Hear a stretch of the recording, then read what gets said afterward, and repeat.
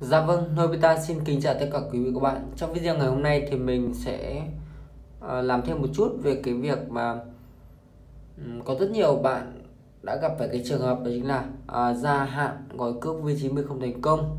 Thì như các bạn đã biết thì cái gói V90 này thì giúp chúng ta có khoảng 2 GB tốc độ cao một ngày này. Ờ, khoảng 60 phút gọi ngoại mạng và dưới 20 phút gọi nội mạng miễn phí.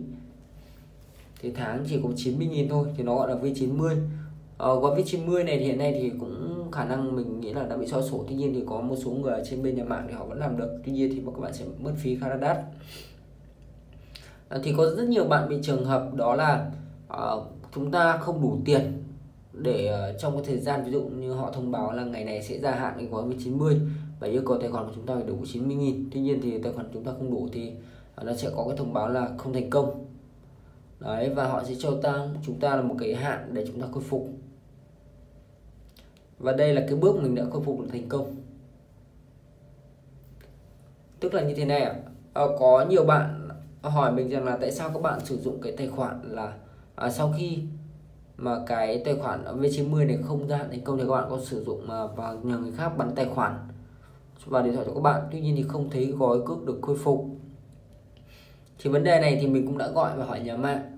Thì cũng được biết à, nhân viên tư vấn tổng đài cũng chia sẻ rằng là uh, khi chúng ta mà bị trường hợp bắn thẻ chỉ có tác dụng khi trước khi gia hạn gói V90 này. Còn trong cái trường hợp mà chúng ta đã bị khóa gói V90 thì thế này mà các bạn bắn thẻ này, thì các bạn phải làm thêm một cái bước nữa đó là ví dụ các bạn bắn kể cả một cái thẻ Viettel 100 nghìn thì nó sẽ không tự động ra các bạn đâu. Mà các bạn bắt buộc phải mua một cái thẻ Viettel khoảng 10 nghìn.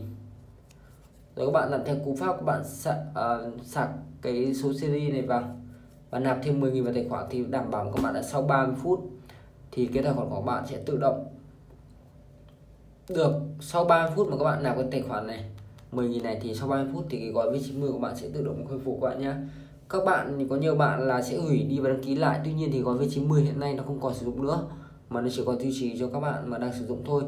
À, thì đó là một cái cách mà chúng ta và cách khắc phục và một số cái câu hỏi các bạn hỏi giải thích là tại sao khi bắn thẻ lại không khôi phục được gói V90 thì video của mình trong ngày hôm nay thì chỉ muốn chia sẻ với các bạn về cái vấn đề đó thôi. Thì đây cũng là cái vấn đề mình gặp phải muốn chia sẻ với các bạn là hy vọng là các bạn sẽ uh, tháo gỡ được cái thắc mắc của trong uh, lòng chúng ta. Thôi video của mình chia sẻ các bạn đã hết. Xin chào và hẹn gặp lại tất cả các bạn trong những video lần sau.